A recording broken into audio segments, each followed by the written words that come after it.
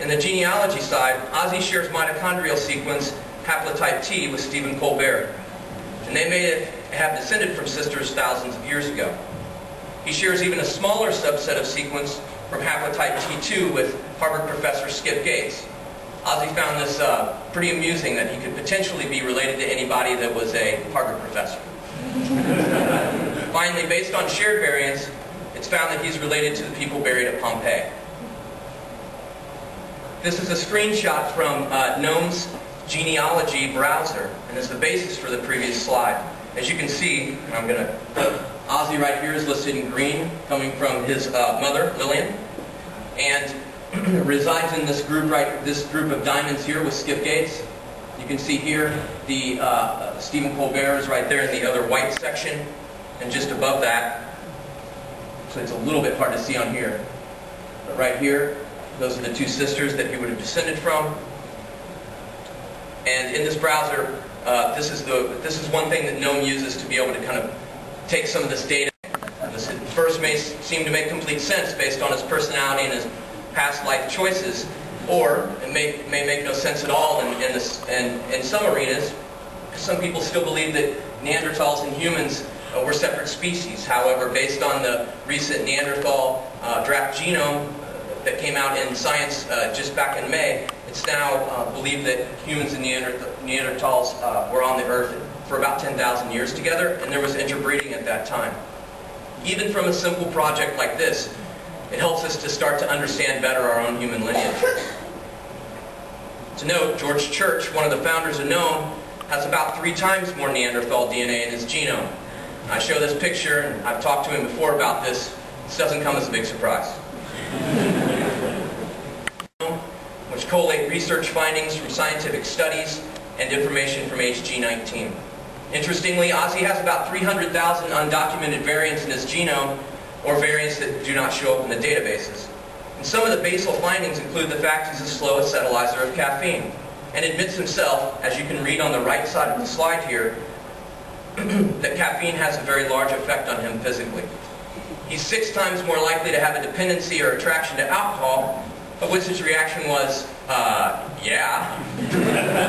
and 2.5 times more likely to have hallucinations under the effects of cannabis. However, based on some of the drug cocktails he used to ingest, it might be hard to figure out which one of those caused the hallucinations. And admits it used to make him throw up, and in his own words, was a horrible waste of booze. he scored low for nicotine addiction, which smoking was one of the first things he gave up when he came clean several years ago. There was also a variant seen in the regulatory region of his ADH4, alcohol dehydrogenase gene. Ozzy, Ozzy readily talks about drinking four bottles of cognac per day for many years. And this mutation could be implicated in increased alcohol metabolism. However, I would rather go with what his response was to that, which is, I'm, I don't need a Harvard professor to get to the bottom of that mystery. One of the most interesting variants seen in Ozzy's genome is in his COMT gene. Most people sequenced to date show either the warrior, W-A-R, or the worrier, W-O-R variant. Ozzy has both. This gene is involved in the breakdown of neurotransmitters in the brain, dopamine in particular, whereas the worrier, W-A-R, variant may increase the processing in response to aversive stimuli, the Worrier variant, WOR, may be associated with increased memory and attention tasks. You can see the bottom of, of the, uh, at the bottom of the slide Ozzy's reaction to this finding.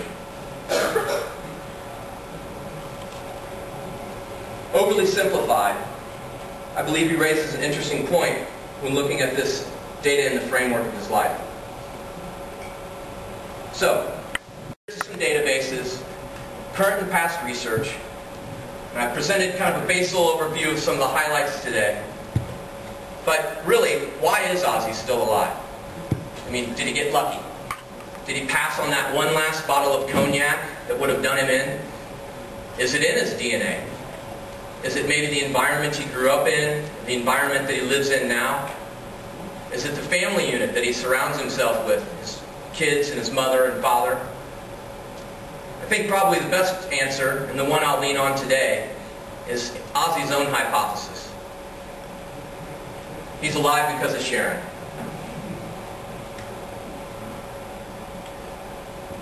So what, would, what did we accomplish with this project? As I told you today, we found some interesting variation, and we tried to infer some interesting phenotypes. We were able to generate excellent data under a tight timeline at cofactor, and I talked about the importance of stopping and taking a breath when things go off the rails in the wet lab. Cofactor is a small company, has a better understanding now of, of, of when you put the right team together, how it, you can produce results that add up more to the sum of its parts. And scientific collaboration with great minds and people you trust can be extremely fulfilling. But what our companies learned was bigger than the data I presented.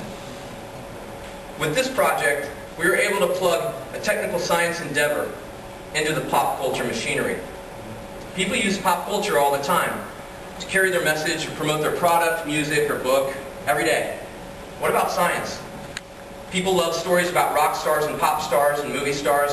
It flips pages in magazines, causes people to follow individuals on Twitter that they don't even know. That's something I'm still trying to wrap my head around. Our companies seized the chance to use the machinery to promote science and start having conversations with people they have never cared what the letters SNP stand for. When we have these conversations with the general population, they may be more at ease in the future when every portion of our lives are touched by genomics. And hopefully, we're able to cast an exponentially large net to try and attract the next generation of scientists and researchers to carry on the work that we do today. At the end of it all, I can tell you, we had a lot of fun working on this. Hopefully, we educated some people. And at the end of the day, we just like to do good science.